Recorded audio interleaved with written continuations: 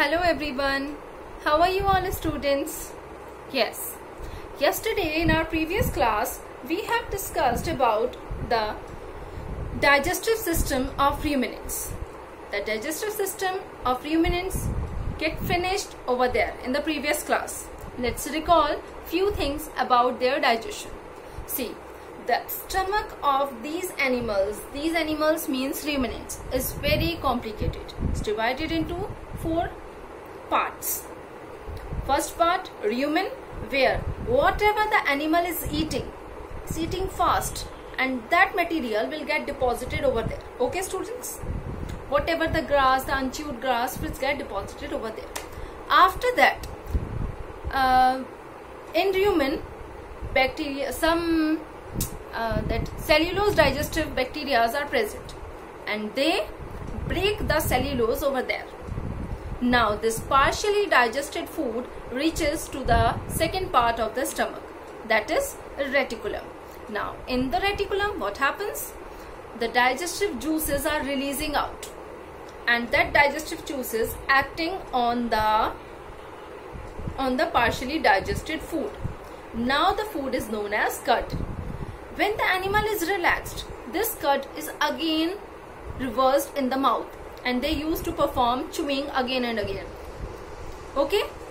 After that, when they chewed the uh, grass properly, now this completely digested food reaches to the third part of the stomach that is omasum. Now, when they are swallowing the food again, then that food will not enter in the rumen and the reticulum.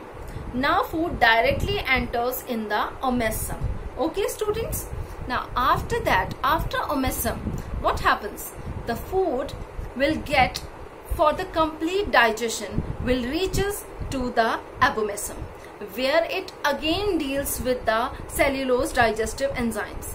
And now here these digestive enzymes help for the proper the complete digestion of the of the cud okay students now after that what happened now food is reaches to the small intestine where the absorption and assimilation starts. Okay begins and completes. In between small intestine and the large intestine a big gap is there and that is known as cecum c-a-e-c-u-m. Cecum okay?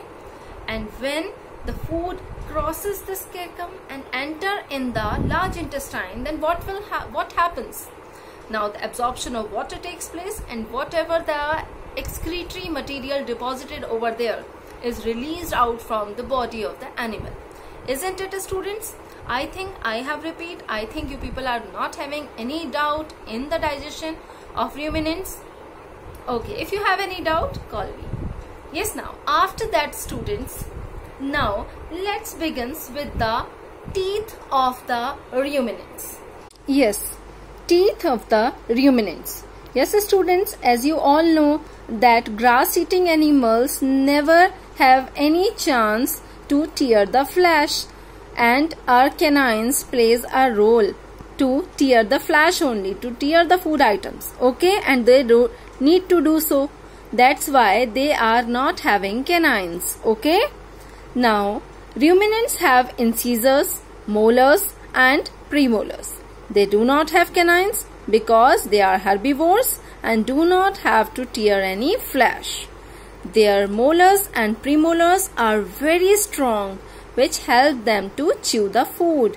Yes students, they have very wide molars and premolars as their mouth is very big okay and their teeth are also very big and they have to, they the molars and premolars in the ruminants plays the most important role among all the types of the teeth and they used to chew the cud again and again and they are grinding the food properly with the help of molars and premolars. Now your classwork. Just write down this question based on the topic of ruminants in your notebook. How does digestion of ruminants takes place? How does the digestion of food takes place in ruminating animals? Explain, okay? Just write it down in your notebook and after that start writing the answer. Yes. They are taking the food through their mouth and chewing the food. What is the role performed by? Yes, mouth is taking the food and chewing it although it is not properly chewed but one time they chew the food and throw it to the rumen the major part of the stomach which is storing the grass. Yes. And in rumen number of bacteria present. Bacteria break the cellulose present in the grass. Yes students. As as i told you while explaining about the rumen that rumen contains millions and billions of cellulose digesting bacteria although some other microorganisms are also present but it is very important. Because they are helping them the animal to break the cellulose into simpler particles. Now after that this partially digested food is entered in the reticulum the second part of the stomach where the broken cellulose turn. The food which was broken by broken cellulose turn into cud. Now the food is known as cud. Why? Because digestive and digestive juices are released over here to help in the further breakdown of cellulose. Now this partially digested food again goes to the mouth for rechewing and they are taking a small small food to the mouth and that cud is again chewing again and again and now the food which is chewed properly return to the omasum. Now few students must have think that why it is this rechewed food is not entering in the rumen. See students as they both are having separate connections in the body of the stomach. Just for to clarify this doubt you can think that see students we are having sense organs and we have a connection of all the sense organs. See sometimes when we are drinking the water it comes out with the nose. It means there is a connection between mouth and nose. But if we have any problem in our teeth are we able to eat through our nose? No because that is not a connectivity. That is not a proper track to eat the food.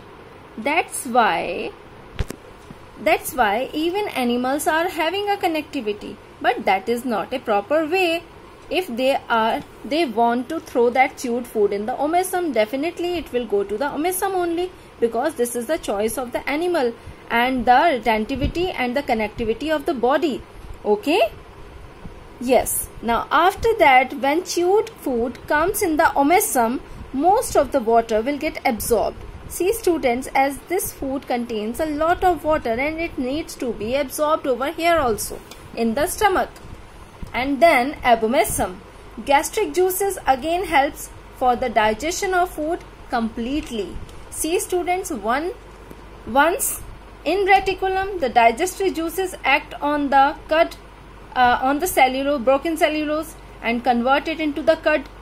And here also gastric juices help for the digestion of food completely. Okay. I think now the digestion of ruminants is clear to you all. This is the question how digestion of food takes place in the body of ruminants. Okay.